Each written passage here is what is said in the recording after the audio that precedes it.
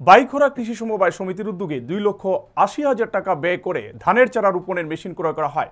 কৃষকদের উন্নয়নের কথা মাথায় রেখেই এই মেশিন ক্রয় করা হয়েছে বলে জানান বাইখোরা কৃষি সমবায় সমিতির প্রেসিডেন্ট রতন বৈদ্য।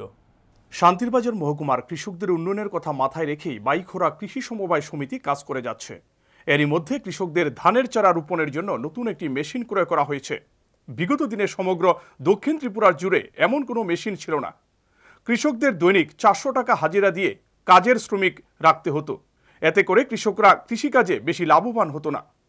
তাই কৃষকদের উন্নয়নের স্বার্থে বাইখরা কৃষি সমবায় সমিতির উদ্যোগে দুই লক্ষ আশি হাজার টাকা ব্যয় করে ধানের চারা রোপণের নতুন মেশিন ক্রয় করা হয়েছে বলে জানান বাইখরা কৃষি সমবায় সমিতির প্রেসিডেন্ট রতন বৈদ্য। আজকের এই ধান রোপণের মেশিন সম্পর্কে আপনি কি বলবেন? আমরা আমাদের এই মহকুমায় আমাদের যে ডিএম সাহেব, ওনার উদ্যোগে আমরা বাইগড়া কৃষি সমবায় সমিতির পক্ষ থেকে আমাদের অত এলাকা কৃষকের সাহায্যার্থে এই যে ধানের রোয়া লাগানোর যে মেশিন, এটা আমরা সম্পূর্ণ ফ্যাক্সের নিজস্ব খরচায় দুই লক্ষ আশি হাজার টাকা ব্যয়ে আমরা এই মেশিন এখানে এনেছি, যাতে আমাদের এই এলাকার কৃষকদের আগামী দিন যাতে কম খরচায় যাতে রোয়া লাগাতে পারে এবং এই মেশিন অত্যন্ত অত্যাধুনিক প্রযুক্তির মেশিন।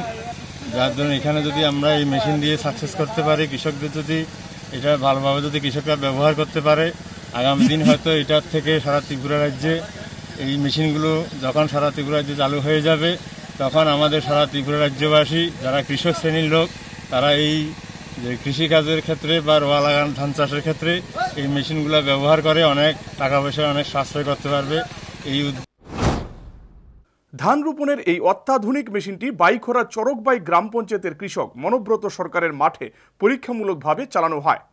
এই ধানের চারা রোপণের মেশিনের পরীক্ষামূলক কর্মসূচিতে শান্তিরবাজার মহকুমা শাসক, বগাফা কৃষি দপ্তরের এস এ দেবাশিস পাল সহ এলাকার লোকজনেরা উপস্থিত ছিলেন। এই মেশিন চালানো নিয়ে এলাকার লোকজনদের মধ্যে ব্যাপক কৌতূহল লক্ষ্য করা গেছে। এই ধান রোপণের পরীক্ষামূলক কর্মসূচির কথা সংবাদ মাধ্যমের সামনে জানান বগাফা কৃষি আধিকারিক দেবাশিস পাল। আজকে চরকবাই গ্রাম পঞ্চায়েতের মনব্রত সরকার কৃষকের নাম, ওনার মাঠে এসেছি। মহকুমা শাসকের সৌজন্যে এখানে একটা পেডি ট্রান্সপ্ল্যান্টার কীভাবে ধানের চারা, শ্রমিক ছাড়াই আমরা করতে পারি, এটা এক্সপেরিমেন্টাল হিসাবে এখানে এসেছি। এখন জাস্ট শুরু হয়েছে মোটামুটি মনে হচ্ছে স্পেসিং সহ এটা ঠিকই আছে। আগামী দিনে হয়তো বা এটার আরও বেশি আমরা কৃষকের কাছে bureau report, news media city.